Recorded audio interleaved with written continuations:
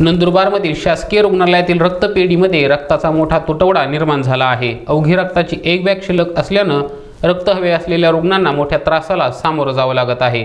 अशातच नाशिकमधून मिळणारे रक्त कमी झाल्यानं दोन महिन्यांपासून नंदुरबार शासकीय रक्तपेढीला मोठ्या त्रासाला सामोरं जावं लागत आहे. नंदुरबार येथील छत्रपती ब्लड फाउंडेशन तसेच गरजू रुग्णांना रक्ताचा पुरवठा करण्यात येत असतो. या फाउंडेशनचे सदस्य नेहमी गरजू रुग्णांना रक्तदान करून सेवा देत असतात. नंदुरबार येथे रक्ताची बॅग शिल्लक नसल्यामुळे रुग्णांचे हाल होत आहेत.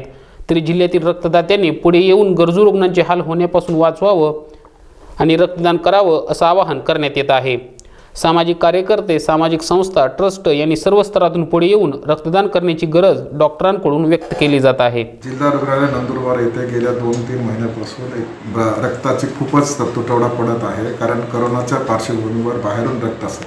आपल्या जिल्हा रुग्णालयामध्ये फिफ्टी पर्सेंट ब्लड आपण लोकल जिल्ह्यामधून कलेक्शन करतो आणि फिफ्टी पर्सेंट ब्लड आपण बाहेरून पुणे नाशिक आणि मुंबईवरून मागवत असतो.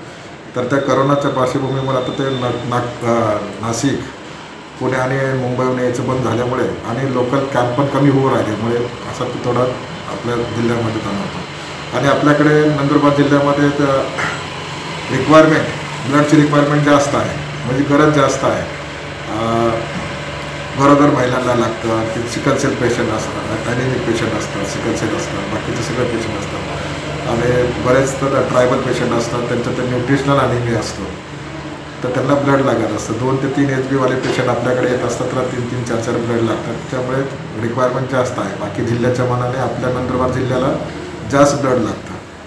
तर तो आणि हे करोना असल्यामुळे थोडं डोनर पण कमी मिळतात आणि डोनरची पण इच्छा होत नाही. तर सिव्हिलला येऊन रक्तदान करणे किंवा आमचे कर्मचारी गेले कॅम्प घ्यायला तरी ते आमच्या कर्मचाऱ्याजवळ यायला घाबरत आहेत.